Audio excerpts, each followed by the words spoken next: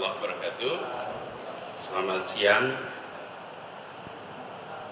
Alhamdulillah siang hari ini kita kami baru saja selesai bersama-sama menunaikan ibadah sholat Jumat. Ada kerinduan yang luar biasa untuk bisa kembali bersujud menunaikan sholat Jumat di kawasan balai kota ini sebagaimana juga dirasakan oleh jutaan umat Islam di Jakarta.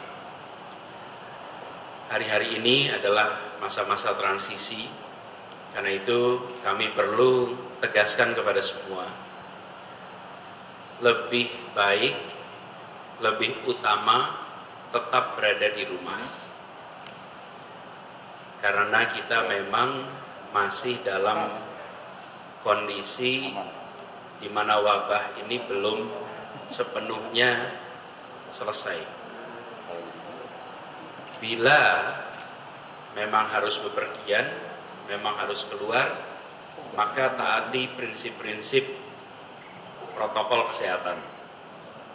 Jadi di masa transisi ini ada empat hal utama yang harus selalu diingat dalam kegiatan apa pun. Nomor satu, hanya yang sehat yang keluar dari rumah. Yang tidak sehat tetap di rumah. Yang kedua, gunakan masker. Masker ini selalu dipakai dalam kegiatan apa pun. Yang ketiga, selalu jaga jarak. Dalam kegiatan apa pun, dalam interaksi apa pun, jaga jarak. Minimal satu meter. Yang keempat, adalah mendatangi tempat mana pun harus melihat bila sudah lebih dari separuh kapasitas maka jangan masuk.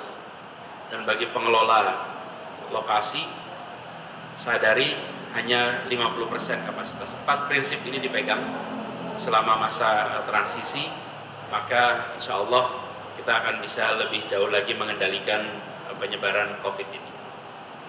Lalu di dalam masa transisi ini saya ingin sampaikan kepada semua disiplin.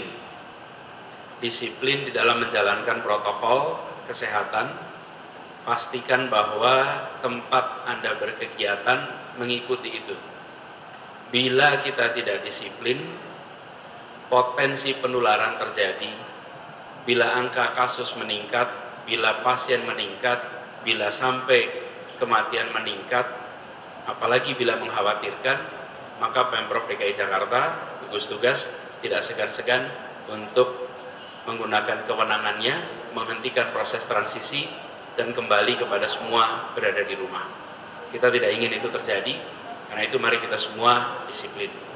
Saya ingin mengajak kepada seluruh warga di Jakarta untuk ikut mengawasi, karena tidak mungkin aparat penegak hukum bisa mengawasi jumlah yang begitu banyak jumlah perkantoran, jumlah pertokoan, jumlah rumah ibadah, jumlah kegiatan sosial luar biasa banyak.